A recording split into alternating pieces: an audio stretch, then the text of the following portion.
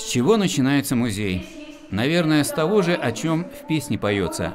С картинки в твоем букваре с воспоминаний детства и желания сохранить его и самые дорогие страницы жизни. Это же относится и к жизни города. Краеведческие общества возникли в Мытищах еще в начале 20 века, и, наконец, идея воплотилась. Документ обращения Мытищинского э, краеведческого общества о создании этого музея. Здесь также фотография первого директора Семенова Владимира Васильевича. Он был музейщиком по призванию, на него мы все равняемся. Это план работы 1962 года, когда был создан наш музей. И здесь вы можете видеть вот план такой очень наивный немножко, но важный. С первых лет в музей стали поступать дары от людей, то, что было дорого как семейные реликвии, что было важным для предприятий той поры. Центральной частью нашей экспозиции является фотография открытия монумента, посвященного работникам Мытищинского электротехнического завода, погибшим в годы Великой Отечественной войны.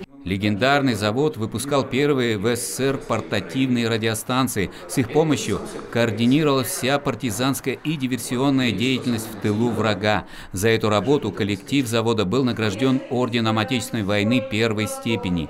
Сегодня орден хранится в музее. Послевоенный период отражен и в творчестве замечательного художника Виктора Попкова.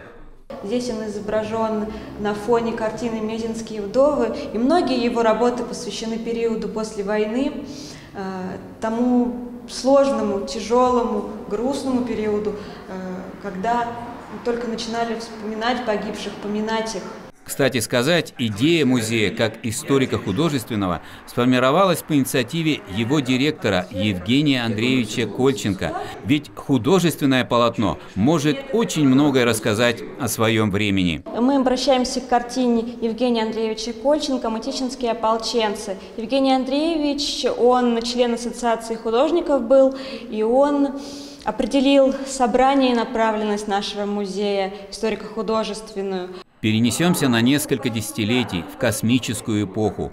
Она отражена в работах художника Веселова. Это тоже документ своего времени, его надежд и достижений. А это кресло замечательного поэта Николая Глазкова. Долгое время он жил и творил в мытищах, ходил по его улицам.